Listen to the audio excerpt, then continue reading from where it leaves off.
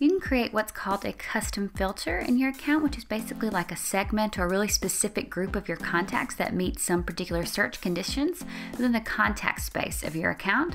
Then you just need to go to the search section, and here you'll conduct a search that would bring up the uh, applicable contacts who should meet the criteria and be saved in this you know segment or what's called custom filter. So usually to do this you would want to conduct an advanced search where you'd specify the lists, autoresponder setting types, or subscription dates, if any, that should be uh, taken into consideration when grouping these contacts. And then usually as well, you'll add an additional search condition.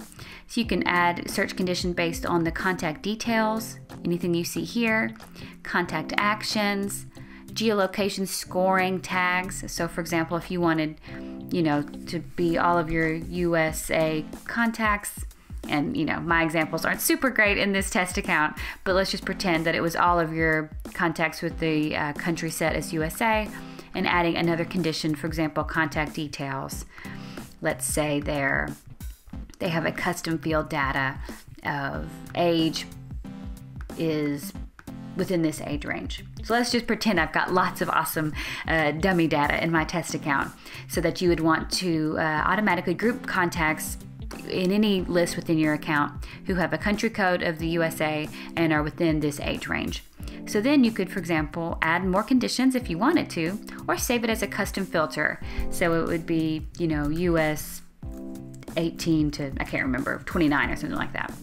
So save. And so that way I could be able to uh, automatically target these contacts with newsletters or, you know, with some particular special offer or something like that based on them being this uh, search condition right here being saved as a custom filter. So from this point forward, any contacts who uh, join my any of my lists and meet these criteria would be added to the custom filter that I created and I can send them targeted newsletters or find other ways to target them or keep an eye on uh, that particular custom filter and how it's growing. So that's how easy it is within Search Contacts to create a custom filter of a specific group of contacts who meet certain criteria that you set up.